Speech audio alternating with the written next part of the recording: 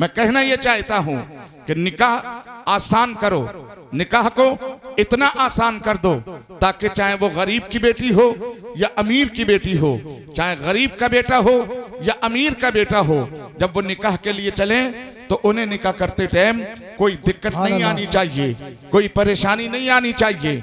उन्हें निकाह से पहले हज़ार मरतबा सोचना ना पड़े कि हम निकाह करेंगे तो हमें इतनी इतनी ये ये चीज़ें चाहिए। अगर ये नहीं होंगी तो हमारा निकाह नहीं होगा। नहीं, जनाबे वाला, किसी अशिया के साथ निकाह नहीं होता, बल्कि निकाह नाम है इजाब कबूल कर लेने का। निकाह नाम है महर अदा कर लेने का। निकाह नाम है दो गवाहों का मौजूद रहने का। इतना आसान तरीका है। अगर इस पर मेरे कौम अमल कर ले, मुसलमान अगर इस चीज़ पर अमल कर लेते हैं तो यकीनन समाज के अंदर से बहुत सी गंदगी बहुत सी खुराफात दूर हो सकती है, लेकिन नहीं जानते। आज दौरे हाजिर में हर एक अपने आप को दूसरों के सामने बड़ा चढ़ा करके पेश करने की कोशिश करता है। अजीजा ने गिरामी, आज के वक्त में जब आज निकाह के लिए तैयार होते हैं अजीजा ने गिरामी, जरा गौर फ़िक्र कीजिएगा मेरे जुमलों पर। मेरी बात पर गौर फ़िक्र करें और उस पर अमल करने की कोशिश करें। अपने समाज के अंदर सुधार पैदा, सुधार लाने की कोशिश करें। अपने घरों के अंदर और अपनी खुद की भी। इसलाह करने की कोशिश करें। अजीदा ने गिरामी अल्लाह रब्बुल इज़्ज़त जल्ल मजदहुल करीम कुरान अजीम फुरकान हमीद में इर्शाद फरमाता है। अजीदा ने गिरामी, अल्लाह फरमाता उसका तर्जुमा यह है कि लोगो, तुम अपने सा अपने बच्चों के जो है निकाह करो और जो तुम्हारे दरमियान में गुलाम या कनीजे हैं निकाह के लायक हैं तो उनको भी जो है उनको उनका भी निकाह करो। और इस डर से कि हम गरीब हैं निकाह नहीं करेंगे ताकि हमारे पास पैसा आ जाए तब जाके निकाह करेंगे। अल्लाह फरमाता है निकाह करो। अगर वो गरीब भी होगा तो निकाह की बरकत से मैं उसे अमीर बना दूँगा उसे गरीब नहीं रहने दूँगा उसको मालदार बना दूँगा। अजीजा ने गिरामी ये अल्लाह का इर्शाद इरशाद आलिशान है, लेकिन आज हमारी कौम का क्या हाल है?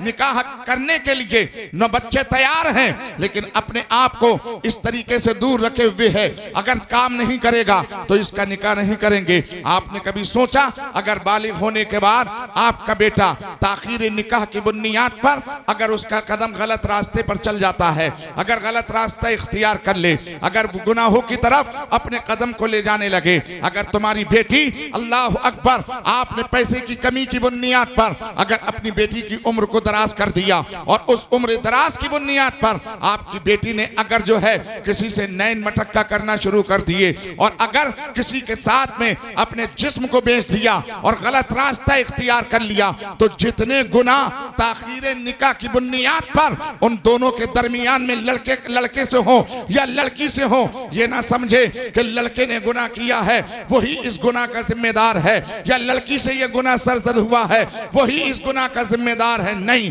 कल कयामत के दिन परवरदिगार आलम उन गुनाहों की सजा जो निकाह की ताखीर की बुनियाद पर लड़के या लड़की से सरजद हुए हैं जहाँ उन गुनाह की बुनियाद पर उस लड़के और लड़की को आजाब खुदा की तरफ़ से उन्हें आजाब दिया जाएगा वहीं उन गुनाहों की सजा उसकी माँ को भी दी जाएगी उसके बाप को भी दी जाएगी। अगर भाई है तो भाई को भी उसकी सजा दी जाएगी।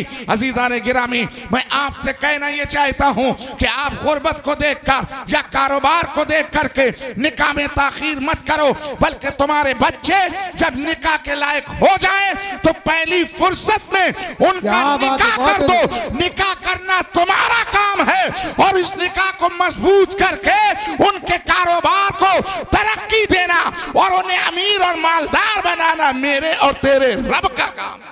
सुभान अल्लाह दारे तकबीर दारे रिसाला दारे वसीयत चश्मे शादी उलमाए सुन्नत। आवाज़ खोलो इसका थोड़ा आवाज़। तो मेरे प्यारे दीनी इस्लामी भाइयों, निकाह करो निकाह। और निकाह कैसे करो? अल्लाह रब्बुल इज़्ज़त जल्ल मजदहुल करीम। कुरान अजीम फुरकान हमीद में फरमाता फन के हु माताबा लकुम मिन निसा, कि तुम अपनी पसंद की औरतों से निकाह करो। तुम अपनी पसंद की औरतों से निकाह करो। अजीज़ा गिरामी, एक हदीस मुझे याद आती है। अल्लाह के रसूल सल्लल्लाहु अलैहि वसल्लम, आज माहौल क्या है? निकाह का। निकाह के अंदाज क्या है?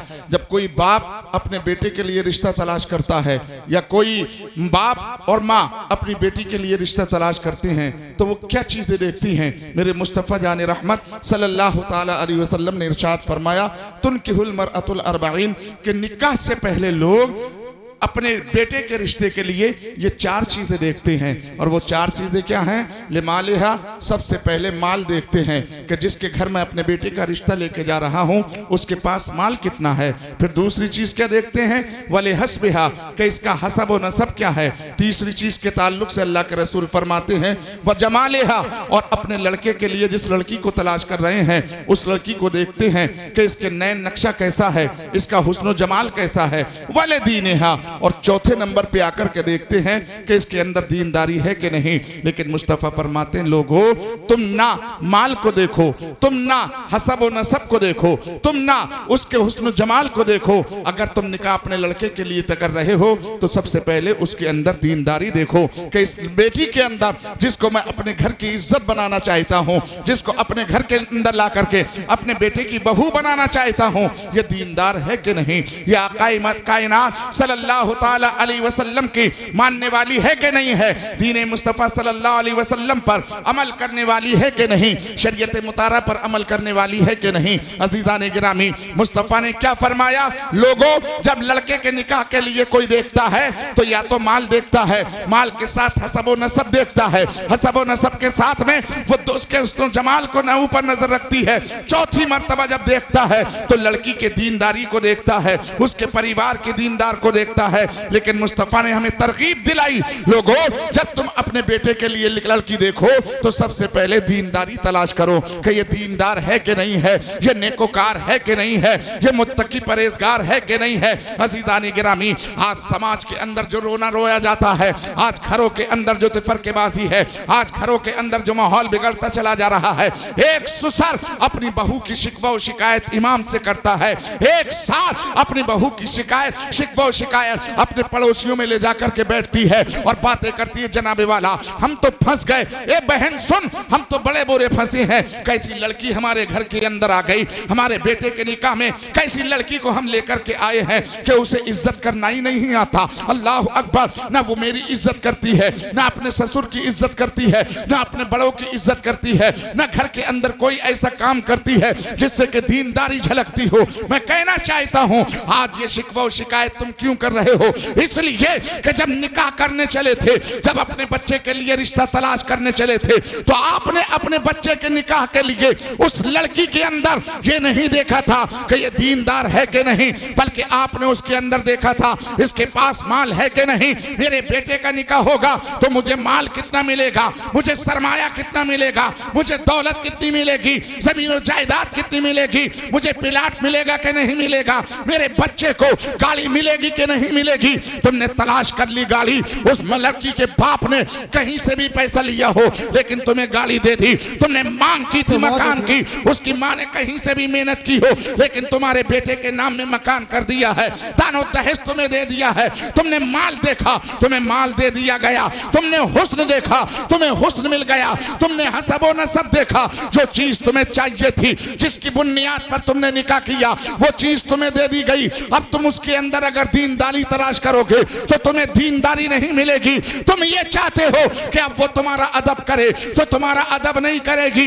इसलिए कि वो घर तुम्हारे अपनी दौलत लेके आई है, अपना माल लेकर के आई है। तुम चाहो तुम्हारे लिए पानी गर्म करके दे तो ए बूढ़े सुन, तेरे लिए पानी नहीं गर्म करके देगी। ए बूढ़ी माँ सुन, अगर तू चाहती है, जब माल लेकर के आई है तो वो आने वाली लड़की तेरे लिए पानी गर्म करके दे। सुबह उठ के तेरे लिए नाश्ता बनाए, दोपहर को तेरे लिए खाना बनाए। यकीनन वो लड़की तुझे खाना बना के नहीं देगी। पर परेशानी में, बीमारी के आलम में तेरी तीमारदारी नहीं करेगी। अगर तकलीफ़ में होगी, तेरी तकलीफ़ में देखभाल नहीं करेगी। क्यों?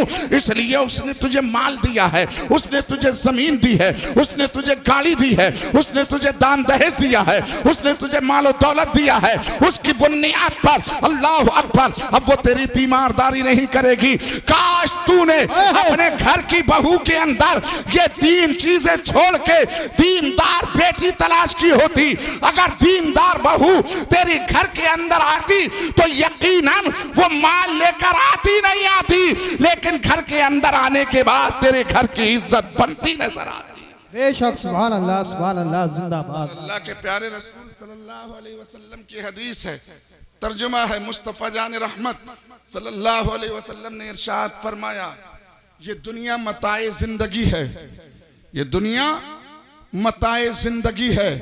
और इस मताए ज़िंदगी में सबसे बड़ी मताए ज़िंदगी इंसान के लिए उसकी नेक बीवी है। अगर नेक बीवी जिसको मिल जाए, वो सबसे बड़ी दौलत है। दुनिया की दौलतें एक तरफ़, दुनिया का सरमाया एक तरफ़, दुनिया का मालो सर एक तरफ़, दुनिया के जो है हसबो नसब एक तरफ़, दुनिया की जमीनों जायदाद एक तरफ़, दुनिया के लालो गौहर एक तरफ़, लेकिन नेक बीवी एक तरफ़। अब आप कहोगे कैसे? अगर नेक बीवी हो तो हमें कैसे बदलेगी? ये लोगों, सुनो सुनो। अगर तारीख पढ़ी होती। तारीख और आग आपने उलट के देखे होते। अपने असहाब की ज़िंदगी आपने देखी होती। असलाफ इकराम की ज़िंदगी पड़ी होती। बुजुर्गान दीन की ज़िंदगी पर अगर आपकी नज़र होती तो आपको पता चलता कि नेक खातून कैसे घर को जन्नत बनाती है। आप कितना भी कमाने वाले क्यों ना बन जाओ, कितना भी क्यों ना कमाते हो, लेकिन दिल पर हाथ रख के, सच्चे दिल से जरा मुझे बताना कि कोई मर्द आज के वक्त में जो उसके निकाह में औरत आई है, क्या उसकी बुनियाद पर उसे खुशी नसीब होती है? क्या वो खुश रह पाता है? कोई भी शादीशुदा मर्द अपने घर के अंदर खुश नहीं है। हर टाइम बेचैन रहता है। क्यों इसलिए? तुमने मालूम हसबो नसब तलाश किया था। दौलतमंद लड़की तलाश की थी। हुस्न जमाल तलाश करके लाए थे। जिसकी बुनियाद पर नतीजा ये निकलता है, एक लाख रुपए महीने की सैलरी का पाने वाला जब पूरा महीना होता है मिनटों सेकंडों में एक लाख रुपया उसकी औरत उड़ा देती है, खर्च कर देती है और आए दिन रोज तमाशा, कभी सुबह को तमाशा, कभी दोपहर को तमाशा, कभी शाम को तमाशा। हमा वक्त तमाशे पे तमाशा बनता रहता है। घरों के अंदरों से आवाज़ आती है, लड़ाई झगड़े की आवाज़ आती है। अल्लाह अकबर, आप गौर फ़िक्र तो कीजिए, एक अमीर बाप की अमीर बेटी लेकर के आए हो और अमीर शादी लेकर के आए हो। नतीजा क्या निकला क्या उसकी बुनियाद पर तुम्हारी ज़िंदगी बवाले जहन्नम बन चुकी है। परेशानियों का गहवारा तुम्हारी ज़िंदगी बन चुकी है। घर वीरान हो चुका है। जब आप शाम को काम पे से आते हो तो घर में कदम रखने से पहले सौ बार सोचते हो, ना जाने घर में कदम रखने के बाद में कौन सी बिजली मेरे ऊपर गिरेगी, कौन सी आफत मेरे ऊपर टूटेगी। और आज हंड्रेड परसेंट जब शादीशुदा मर्द काम पे से वापस घर पर पलटता है और अपने घर के अंदर कदम रखता है, यकीन से कहना, जैसे ही शौहर कदम रखता है, इल्ला माशाल्लाह, सौ में दो चार होंगे जो सुकून से कदम रख के बिस्तर पे बैठ जाते होंगे, पलंग पे बैठ जाते होंगे, उन्हें पानी मिल जाता होगा, उनकी बीबी उनका इस्तकबाल करती होगी, वरना पिचानवे परसेंट औरतों का ये मिजाज है। जैसे ही शौहर घर में दाखिल हुआ, उसने ये तो ना पूछा, ए, मेरे शरीक हयात, आप सुबह से अब आए हो, कहीं कोई परेशानी तो नहीं थी, कोई दिक्कतों का सामना तो करना नहीं पड़ा। ये नहीं पूछती है, बल्कि जैसे शौहर को देखती है, फ़ौरन बेलन लेके खड़ी हो जाती है। आओ देखती है न सीना चीर के कहती है, तुम तो मर गए थे, सुबह से कहाँ थे? तुमने मेरी परवाह कहाँ है? मुझे देखा नहीं। एक मर्तबा फ़ोन करके भी नहीं पूछा कि मैं किस हाल से गुजर रही हूँ। मेरी हालत क्या थी? अल्लाह अकबर। ए मेरी बहन बेटियों, सुनो सुनो। तुम्हें समझाना चाहता हूँ। तुमने अपनी बात तो अपने शोहर के सामने चीखो पुकार करके कह दी, लेकिन ये ना सोचा कि सुबह का निकला हुआ मेरा शौहर है। किसके लिए निकला है? वो अपने लिबास के लिए नहीं निकला। वो अपने पानी के लिए नहीं निकला। अपनी ज़रूरत के लिए नहीं निकला है। अपने खाने के लिए नहीं निकला है। बल्कि उसने घर छोड़ा है। ए मेरी बहन सिर्फ़ और सिर्फ़ तुझे लिबास पहनाने के लिए छोड़ा है। तुझे खाना खिलाने के लिए छोड़ा है। ताकि मैं दिन भर अपना पसीना बहा के दो तो पैसे कमा के घर ले जाऊँ। ताकि अपनी बीबी को सुख का निवाला दे सकूँ, चैन की ज़िंदगी दे सकूँ अच्छा लिबास दे सकूँ। ए मेरी बहन, कभी भी अपने शोहर को आने के बाद ताने तिशने मत दिया कर, बल्कि खड़े होके सलाम किया कर, ताकि तेरी मोहब्बत तेरे शोहर के दिल में बढ़ती चली दारे तकबीर, दारे रिसालत, दारे वसीयत बस लगे आला हज़रत क्या किया जाए, नहीं होता है, बल्कि ऐसे होता है और होता क्या है? फिर जब शोहर डंडा उठा लेता है तो फिर भागती हैं ये रूहानी शिफे खाने की दुकानों पर, मेडिकलों पर, और जाकर के कहती हैं कि साहब, शोहर समझ ही नहीं रहा। शौहर तो मोहब्बत कर ही नहीं रहा वो अपनी अम्मा के कहने में वो अपने अब्बा के कहने में उनके ऊपर अम्मा ने करवा दिया मेरी सास ने करवा दिया मेरे ससुर ने करवा के अपने कब्जे में कर लिया। ये मेरी बहन सुन ये करना करना कुछ नहीं होता है सिर्फ़ तू है तू। अगर तू चाहे तो अपने बे, बे, अपने शोहर को अल्लाह अकबर अपने शोहर के दिलों के अंदर अपनी जगह तुम बना सकती हो। और कैसे बना सकती हो? तो सुनो ये कारनामे करके नहीं बन सकता शौहर तुम्हारे दिल में। शौहर के दिल में तुम्हारी मोहब्बतों की जगह नहीं बन सकती। जरा सोचो तो सही, वो शौहर मेहनतों काबिश करके, दिनों रात मेहनत करके पैसा कमाता है और जब कोई फ़ंक्शन आए, तुम्हारी तमाम तर जरूरतें पूरी करता है। तुमने कहा, ये जोड़ा मुझे चाहिए, शौहर ने देर न लगाई, जोड़ा दे दिया। तुमने कहा, मुझे ये चूड़ी चाहिए, देर नहीं लगाता, दे देता है। तुमने कहा, मुझे ये मैचिंग की चप्पलें चाहिए, शौहर देर नहीं लगाता। तुरंत तुम्हें दे दिया करता है।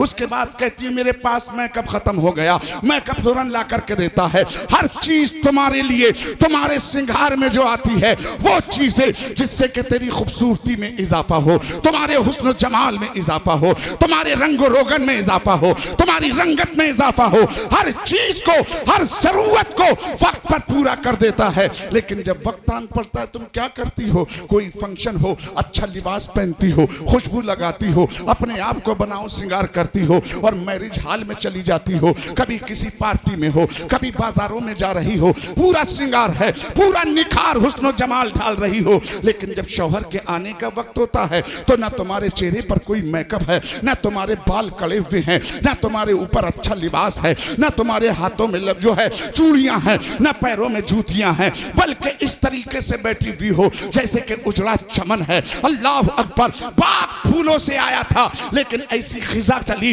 ऐसी हवा चली कि अचानक हवा के झोंकों ने पूरे बाग को तहस नहस करके रख दिया। अजीजा ने गिरामी, जरा गौर व फ़िक्र करें। मेरी माँ और बहनें, मेरे जुमलों को नोट कर ले। ए मेरी बहन, तू चाहती है तेरे शौहर तेरी इज़्ज़त करे, तेरा शौहर तेरी ताजीम करे, तेरा शौहर तुझे अपने दिल में जगा दे, तेरा शौहर अपने सीने में तुझे बिठा ले, तेरा शौहर तुझे अपना सर का ताज बना ले, तेरा शौहर तुझे अजमत दे, तेरा शौहर तुझे मकाम दे।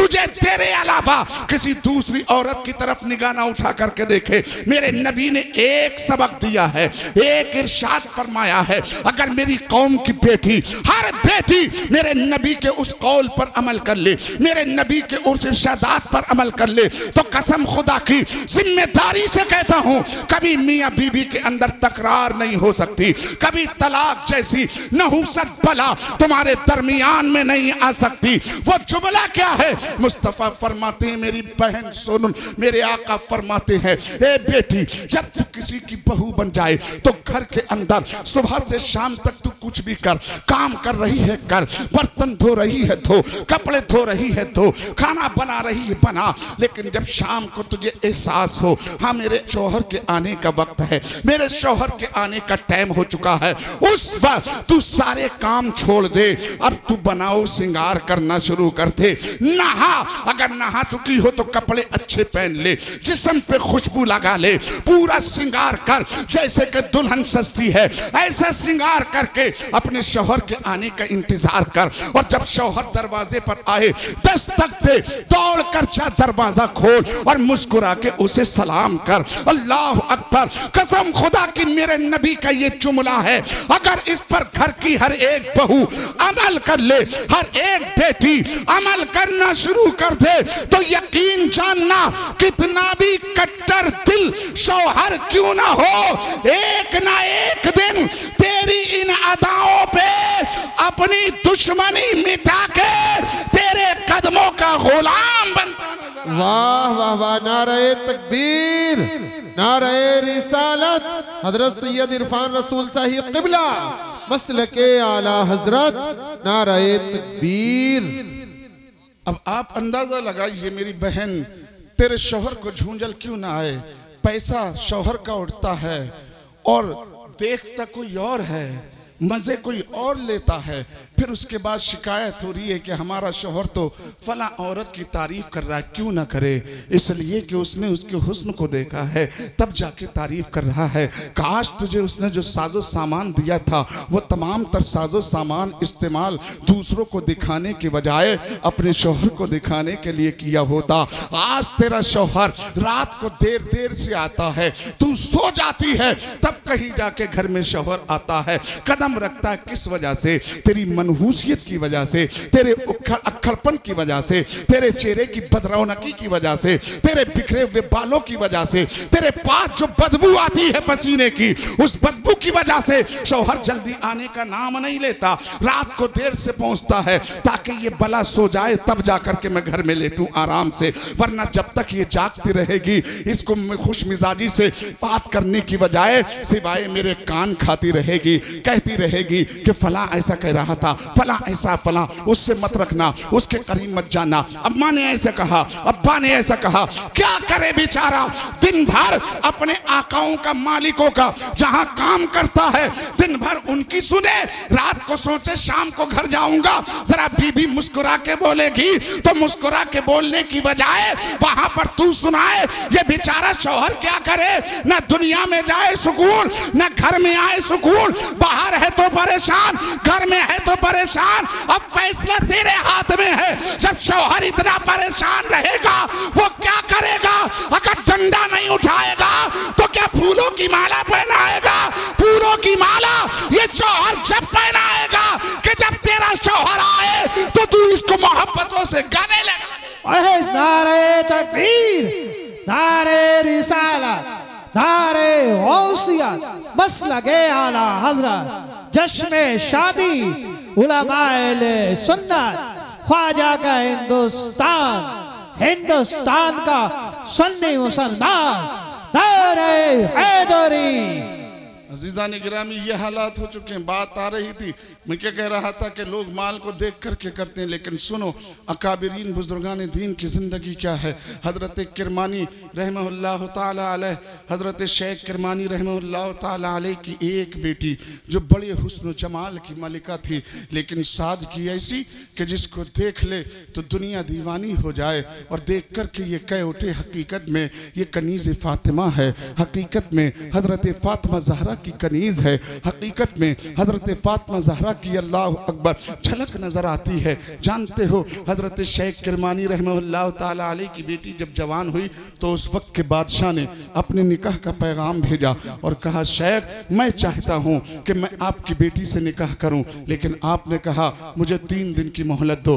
तीन दिन की मोहलत लेने के बाद में आपने एक शेख को देखा, एक गरीब बच्चे को देखा, एक गरीब लड़के को देखा, जो साले था, जो मुत्तकी था, जो परहेजगार था, जो नेकोकार था, उसको बुलाया। बुलाने के बाद उसके हाथ पर अपनी बेटी का हाथ दे दिया। उसके साथ निकाह कर लिया, कर दिया। और जब निकाह हुआ, जानते हो कितनी जो है, कितनी साले वो लड़की थी, जब निकाह हुआ। निकाह के बाद में अपने शौहर के साथ जब अपने हुजरे में पहुँचती है, उस लड़के के घर पहुँचती है तो उसकी निगाह एक दीवार की, जो दीवार के अंदर ताक बनी हुई थी, जब उस पर निगाह पहुँची तो एक बासी रोटी का टुकड़ा रखा हुआ था। उस औरत ने देखा, लड़की ने देखा, देखने के बाद कहा, आप मेरे शरीक हयात हो, लेकिन मैं यहाँ से जाना चाहती हूँ। मैं आपके साथ में रहना नहीं चाहती। अल्लाह अकबर, आज औरत अगर अपने शोहर को छोड़ती है, किसकी बुनियाद पर? अगर माल में दिक्कत आ जाए तो क्या ताना देती है? अगर पैसा नहीं है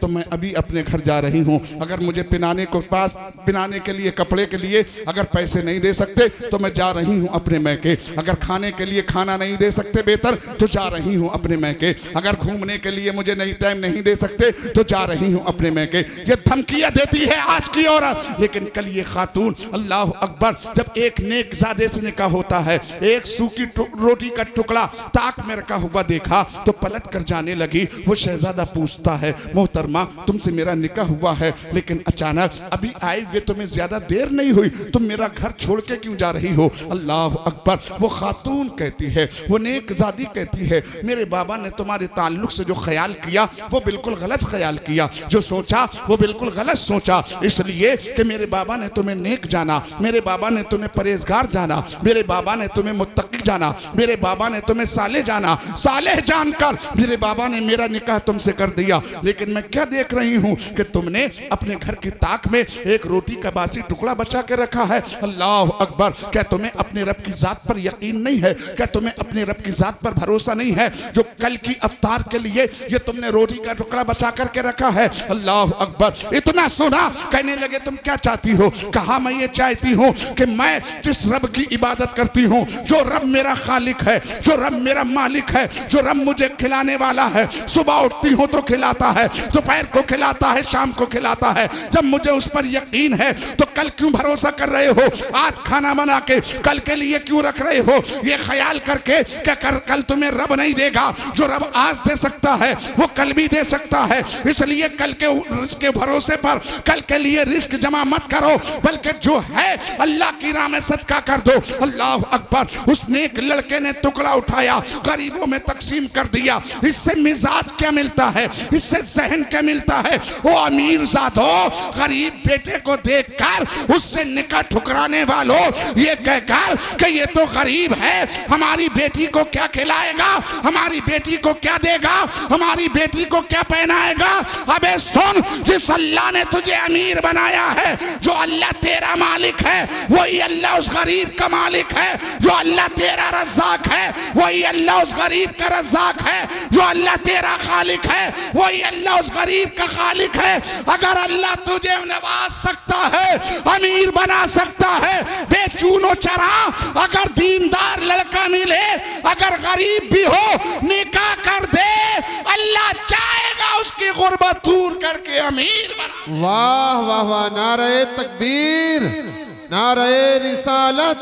अल्लामा सैयद इरफान रसूल साहिब किबला मसल के आला हज़रत जश्न शादी नारे तकबीर। और जरा देखें। अमीर खलीफतुल मुस्लिमीन हज़रत उमर बिन खत्ताब रदी अल्लाह जिनके बेटे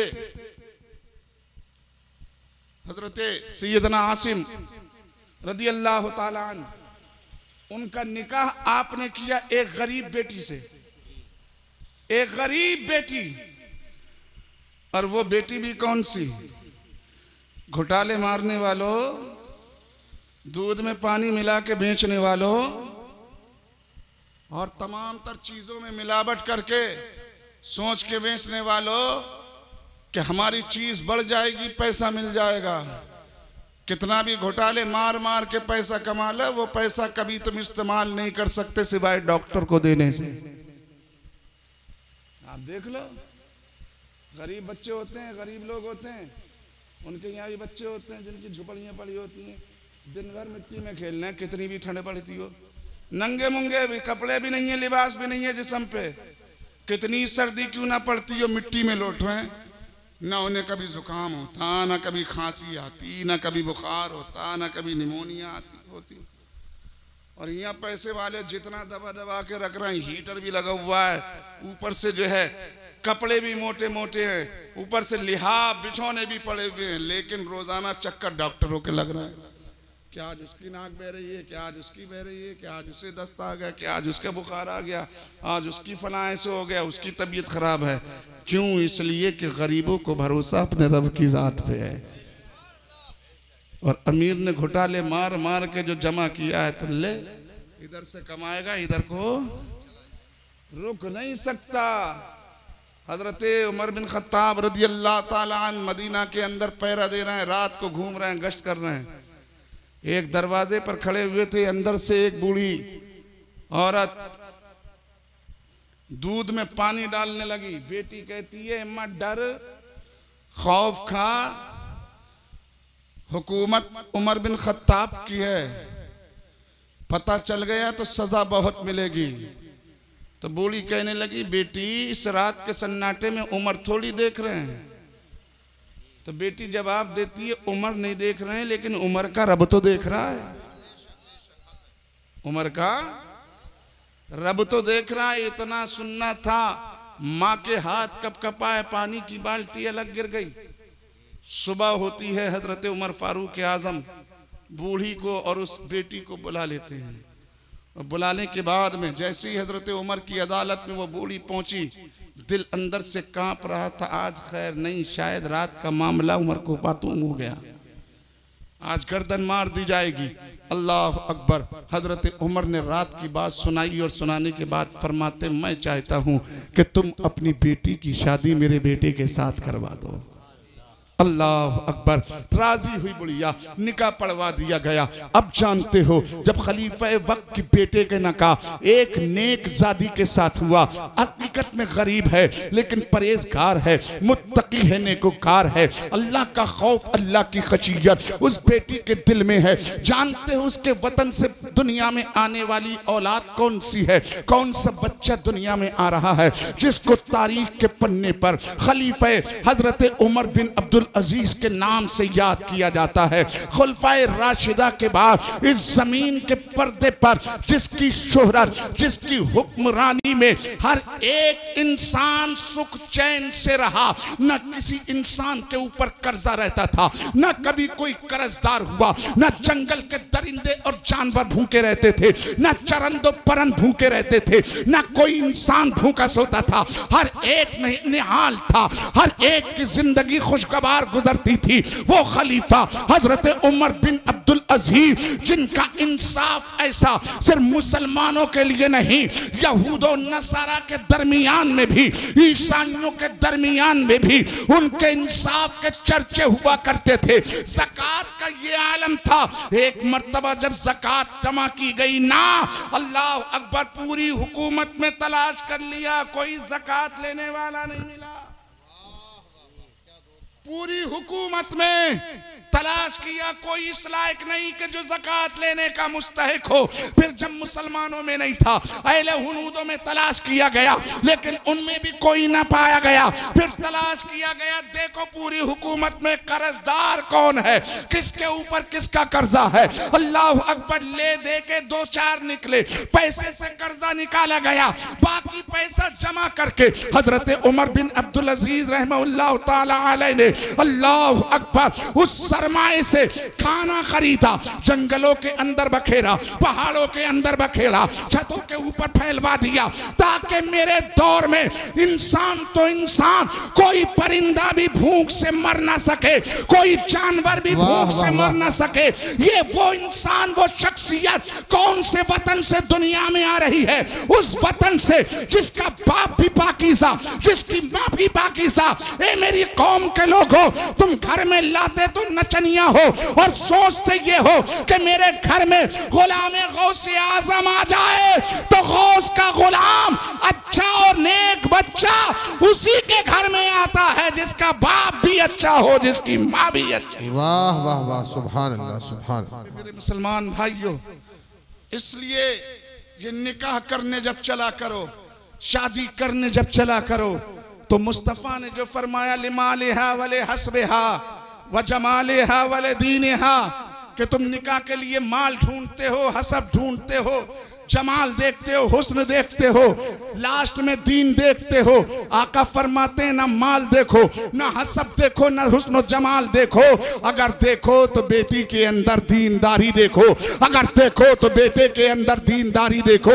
इसलिए कि जब बाप दीनदार होगा, जब माँ दीनदार होगी, अगर बेटे के लिए बेटी तलाश कर रहे हो तो माँ, उस बेटी को देखो, दीनदार है कि नहीं? उसकी माँ दीनदार है कि नहीं? बेटी का बाप दीनदार है कि नहीं? उसके भाई दीनदार हैं कि नहीं? उसकी बहनें दीनदार हैं कि नहीं? उसके मामू दीनदार हैं कि नहीं? उसका ददियाला दीनदार है कि नहीं? उसके चचा ताऊ दीनदार हैं कि नहीं? उसके नाना नानी दीनदार हैं कि नहीं? जब ऐसे घर की बेटी लाओगे कि जो खुद भी दीनदार हो, जिसकी माँ दीनदार हो, जिसका बाप दीनदार हो, जिसके भाई दीनदार हो, जिसकी बहनें दीनदार हो, जिसका चचा दीनदार हो, जिसकी चची दीनदार हो, जिसके भतीजे दीनदार हो, जिसके मामू दीनदार हो, जिसकी मुमानिया दीनदार हो, जिसके नाना दीनदार हो, जिसकी नानी दीनदार हो। कसम खुदा की, जब उस वतन से आपके घर में कोई पौधा उगेगा और वो पौधा देखेगा, मेरी माँ परहेजगार है तो मैं भी परहेजगार बनूँगा।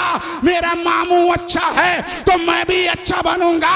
मेरा नाना अच्छा है, मेरा दादा अच्छा है, मेरी दादी अच्छी है, मेरा चचा अच्छा है, मेरे ताया अच्छे हैं। जब घर के अंदर सब अच्छे अच्छे होंगे, उस बच्चे की नज़र जाएगी कि जब सब सच्चे, सब अच्छे हैं तो मैं क्यों कहीं जाऊँ? मैं भी बनूँगा तो अच्छा और सच्चा ही बनूँगा। वाह वाह वाह नारे तकबीर नारे रिसालत, मसल के आला हज़रत, अल्लामा सैयद आलिफ रसूल साहिब, किबला।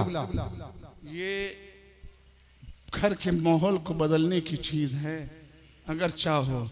वरना तकरीरें बहुत होती हैं, समझाने वाले समझाते हैं। हम तो आज आ गए, समझा दिया। इमाम साहब हर जुमे को समझाते होंगे।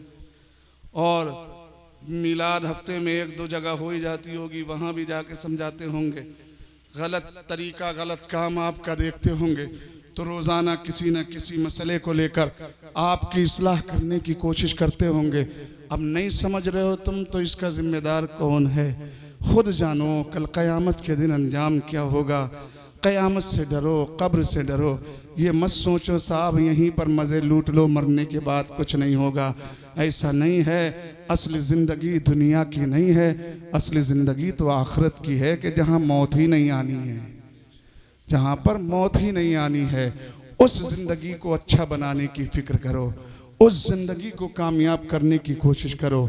उस ज़िंदगी के अंदर महल तैयार करने की कोशिश करो जन्नत के। और जन्नत के महल दुनिया से जाने के बाद तैयार नहीं होंगे, बल्कि जन्नत के महल दुनिया में रहकर ही तैयार होंगे। यहाँ रहो और आगे अक्लमंद वो नहीं कि यहाँ रहकर यहीं की सोचे। अक्लमंद वो होता है, यहाँ रहकर अपने आगे के ताल्लुक से सोचे कि मेरा मुस्तकबिल अच्छा हो। जो मेरे साथ कल होने वाला है, वो कल आज से मेरा ज़्यादा बेहतर हो। यहाँ की मुश्किल भरी भरी घड़ियाँ, यहाँ के मुश्किल भरे भरे हालात, यहाँ के कठिनाइयों भरे दिन, यहाँ के सख्तियों वाले सुबह मसा। गुजर जाएँगे, कैसे भी हों, तड़प के, सुख में, चैन में या दुख में। लेकिन आखरत के जो दुख में होगा तो वो दुख में ही होगा, सुख नहीं मिलेगा। और जो सुख में होगा, वो सुख में ही होगा, उसे दुख नसीब नहीं होगा। माँ फन के हु माता बालकुम अल्लाह फरमाता है कि अपनी पसंद की औरतों से निकाह करो, अपनी पसंद की औरतों से शादी करो। और क्यों करो? अल्लाह रब्बुल इज़्ज़त ने कुरान अजीम, फ़ुरक़ान हमीद में फरमाया व मिन आयाति मन खलक़लकुम मिन अनफुसिकुम अज़वाजल लितस्कुनु इलैहा। कि अल्लाह ने तुम में से ही तुम्हारे लिए जोड़े बनाए।